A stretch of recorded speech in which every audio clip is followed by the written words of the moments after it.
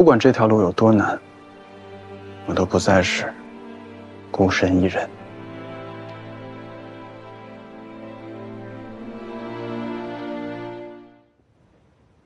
师傅，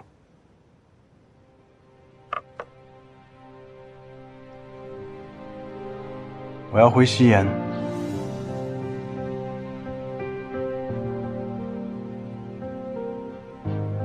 现如今你羽翼未丰，反之，你两位王叔在西岩朝堂经营多年，党羽众多，此时还不是你回西岩的时机。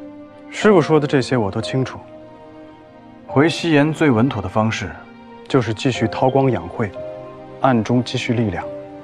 可是我等不了了，我只有回到西岩，拿回属于我的一切，我才有能力去保护我想要保护的人。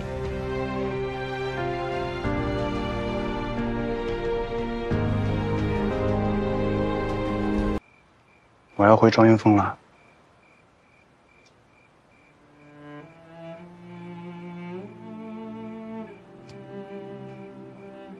也好，总会要回去的。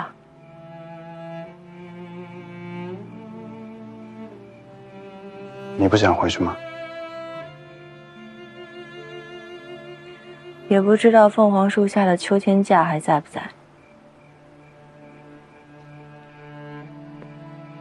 没有了，就再搭一个。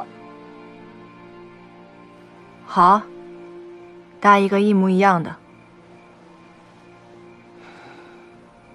曾经的昭英殿上，欢声笑语一堂，如今却只剩下我们两个人了。不管这条路有多难，我都不再是孤身一人。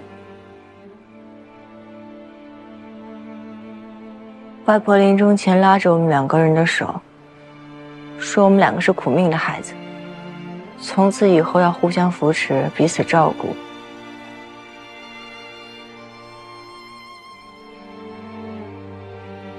外婆好似早就预测了我们两个人的命运。